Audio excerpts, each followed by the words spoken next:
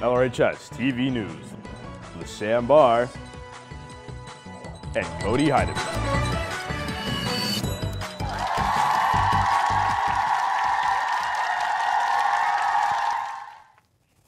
Good day, Lakewood Ranch. I'm Sam. And I'm Cody, and you're watching LRHS TV News for Friday, September 8th.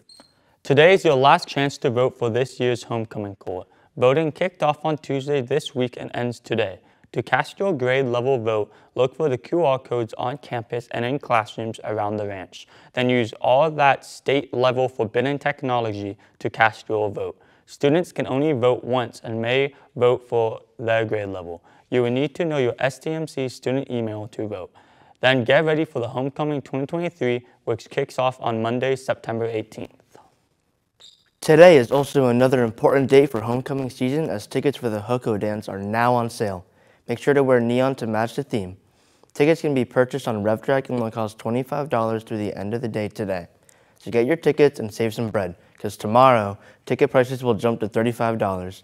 That price will be in effect until Wednesday, September 20th. After that, the price will jump up another $5 for last minute ticket sales on September 21st and 22nd. Ticket sales end on Friday the 22nd at 12 noon. No tickets will be sold after 12 p.m. on that Friday or at the door of the homecoming dance on Saturday the 23rd. So plan ahead, submit your guest forms, and get your tickets as soon as possible. Now let's talk about the real fun stuff. The Spirit Days of Homecoming where everyone can show their school spirit and participate. Here's a look at the dress up days for HOCO 2023. Monday, September 18th is Color Day at the ranch. Dress up in your assigned class colors with or without a theme. Seniors are yellow, juniors are blue, sophomores are pink, and freshmen are purple. Staff is encouraged to wear orange. The Monday night time event is Clash of Classes in the gym at 6 p.m. Tuesday will be Mathlete and Athlete Day, so suit up for sports or study hall. Then bring these brains and biceps out to trivia night in the cafeteria starting at 6 p.m. Looking ahead to Wednesday, we've got Superhero and Supervillain Day. Think comic books, video games, and movies. Then it's Good vs. Evil out of the softball fields for a kickball tournament at 6 p.m. for your nighttime event. Thursday will be Generation Day with the following class assignments. Freshmen will be babies or toddlers, of course, sophomores will be college-age kids, juniors will be parents or professionals, and seniors will age up to senior citizens. Teachers are asked to dress like they did in high school. Thursday night, we'll get fired up at the annual bonfire in the bus loop from 7.30 to 9 p.m. Then on Friday, we will have the Classic Spirit Day where everyone will wear LRHS gear and green to school. Friday night brings the Big HOCO tailgate party starting at 5.30 p.m. outside the gym followed by the HOCO football game versus Lehman High School at 7 p.m. with the Royal coronation during halftime for the King and Queen and their court. You've got a week to prepare Mustangs, then it's homecoming time right here at the ranch. And finally, this Tuesday, LRHS will host the College and Career Fair in the gym for seniors. Dr. Purpose sent out an email with a list of release times for this event, which is scheduled to begin at 8 a.m. and wrap up by 10 a.m. Please excuse your senior students when their alphabet bracket is called. If you have a class of all seniors, you are welcome to come too. Coming up after the break, we'll take a look at today's lunch. But first, here's Hayden with your Sports Stampede.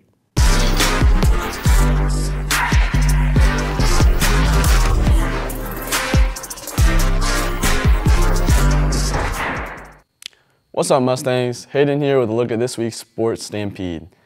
The varsity football team suffered a tough loss to the Cougars, but the team looks to reset as they travel to district rival Braden River tonight. Kickoff is at 7 p.m., so come out and support your Mustangs. The Lakewood Ranch girls cross country team claimed the second place trophy out of 14 teams at the Pasco Invitational last weekend. Taking home top 15 individual honors were junior Olivia Spiegel in 5th and freshman Julia Mulligan in 12th. Tomorrow, the Mustangs run at Holloway Park in Lakeland, which is one of the tougher courses and also the site of the regional meet later in the year. Good luck, runners. The boys golf team gets an early start at 7 a.m. tomorrow as they participate in the Mooney Match Invitational, which takes place at the Founders Club. Also at the Founders Club, the girls golf team will have a match play tournament. The Lady Mustangs get started at 7.30 a.m. Good luck to both teams on Saturday. The girls defeated Palmetto last week 139 to 164 with Emily Storm earning the top spot for the The swim team dives into action this Wednesday at the YMCA at 4 p.m. The Mustangs will hope to sink Southeast, Palmetto, and Bayshore at this event. And finally, the varsity girls volleyball team will take part in the Wiregrass tournament this weekend. That's a look at all the sports picture heading into this weekend. Next week, make plans to support your friends and classmates in the stands. And as always, go Mustangs.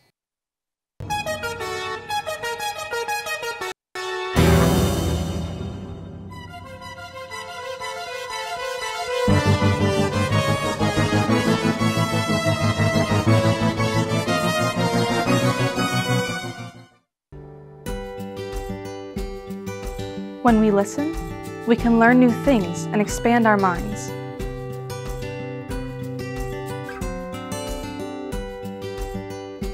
When we learn new skills, a world of possible careers become available.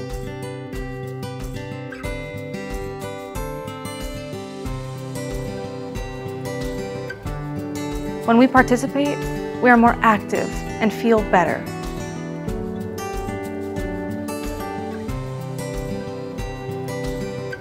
So make the most of your school day. Listen, learn, and play.